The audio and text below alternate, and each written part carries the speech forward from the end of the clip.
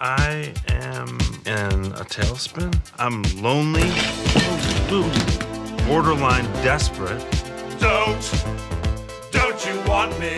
I have so much to give, you know? I have all these gifts. I'm like, I'm a blast. We're kind of like having a conversation here. Oh. So, uh, Okay. I'm gonna have some conversations too here eventually. My ex-wife, she's getting remarried, but I'm fine with it. Well, yeah, I overheard your speech over there on the couch. Oh, I thought oh. it was really honest. Are you flirting with me? I'm like Shrek.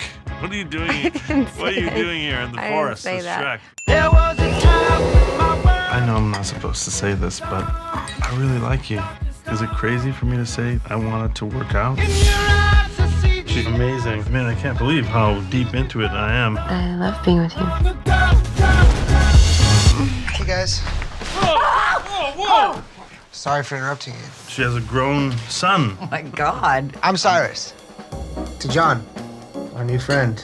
So, uh, are you gonna stay the night? I haven't had a man over since Cyrus was born. It's great to finally have a new dad.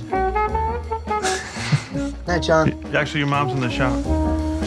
What are you doing? The light is hitting your hair in this great way. It's like a crippled tree reaching for heaven. The kid seems really weird. He was messing with me. You're paranoid. You are out of your league. I will knock you out.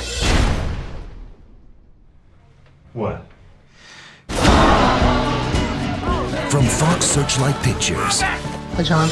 comes a brutally honest comedy. Your son hates me. How long have you felt like this? It's been building. He's very mature, but he's not come into himself yet. I'm so proud of how close we are. John C. Reilly, Jonah Hill, Marisa Tomei, Catherine Keener, Listen to me, you little weirdo. If you want to mess with me, I want to mess with you right back. Oh, buddy. Everything okay?